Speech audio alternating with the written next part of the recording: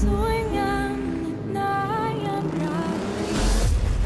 งามเหลือเกิน ไม่เพียงชื่อชั้นของนักแสดงนำอย่างเวียสุกลวัฒน์และออมสุชา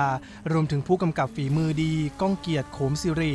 หากเบื้องหลังของผลงาน Original Series เรื่อง Bangkok Breaking มหานครเมืองลวงของ Netflix ยังได้ปราบดายุน ผู้กำกับภาพยนตร์และนักเขียนมากฝีมือ มารับหน้าที่อำนวยการสร้างเป็นครั้งแรกอีกด้วย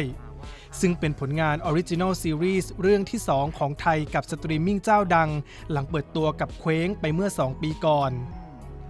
การหยิบประเด็นสากลที่สะท้อนความเหลื่อมล้ำ การต่อสู้กับระบบและอำนาจ รวมถึงอีกหลายปัญหาที่ซุกอยู่ใต้พรม ถือเป็นความท้าทายของปราบดา หยุ่น ซึ่งเพิ่งมาจับงานซีรีส์หลังจากผ่านงานภาพยนตร์อิสระมาทั้งหมด ตัวเนื้อหามันจริง ๆ มันมันเป็นสากล ผมว่าไอ้เรื่องการตีแผ่เอ่อ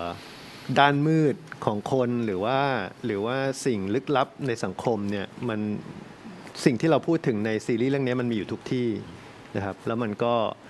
สำหรับคนไทยเองผมผมก็คิดว่าจริง ๆ ความตั้งใจของเราอันหนึ่งก็คือ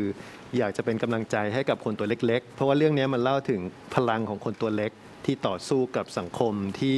ดูเหมือนว่าจะยากที่จะที่จะชนะนะครับ แต่ว่าก็ต้องตามดูว่าในที่สุดแล้วจะชนะหรือเปล่า แต่ผมว่ามันเราอยากจะให้กำลังใจกับกับคนเล็ก ๆ ในสังคม มันมีอะไรที่มันละเอียดอ่อนครับแบบที่เรามองไม่เห็นความ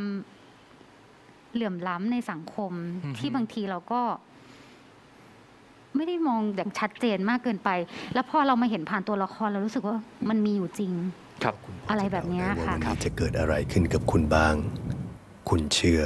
ว่าคุณรู้จักคนบางคนดีพอ ก่อนหน้านี้ปราบดายุนมีผลงานสร้างชื่อในฐานะผู้กำกับและเขียนบทภาพยนตร์ มาจาก Hotel Miss ในปี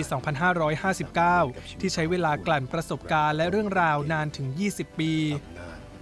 กระทั่งปีต่อมาก็มีผลงานกำกับและเขียนบทอีกเรื่องคือ Someone from Nowhere ซึ่งทั้งสองผลงานล้วนเข้าตาเทศกาลหนังต่างประเทศ ไม่ว่าจะเป็นการเข้าชิงสายประกวด และเปิดตัวรอบ World Premiere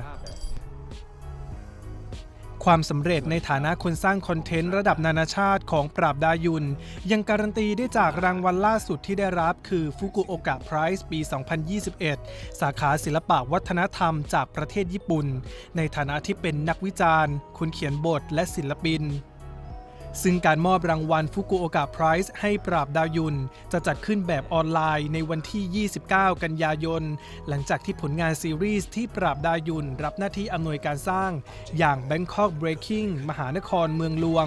จะเข้าฉายสตรีมมิ่งพร้อมกันกว่า 190 ประเทศทั่วโลก ในวันที่ 23 กันยายนนี้ กวินพบพันธุเริกษ์ไทย PBS